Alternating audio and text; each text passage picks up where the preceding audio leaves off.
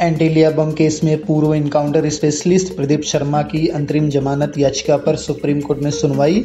ओडिशा में एक और ट्रेन डी रेल बरगढ़ के मेघपाली में मालगाड़ी की छत बोगी पटरी से उतरी।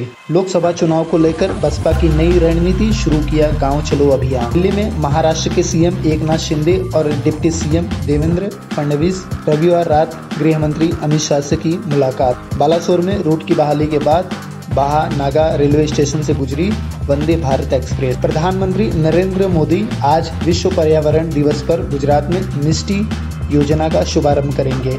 यूपी के प्रयागराज में तेज आंधी से नाव पलटी लापता पा, हुए पाँच लोगों में से दो की मौत रेस्क्यू जारी। जन्मदिन के मौके पर सीएम योगी आदित्यनाथ ने गोरखनाथ मंदिर में किया रुद्राभिषेक। उत्तर प्रदेश में आज पाँच जून को मनाया जाएगा लाइफ स्टाइल डे। भारत में लॉन्च होगी मारुति सुजुकी जिन्नी।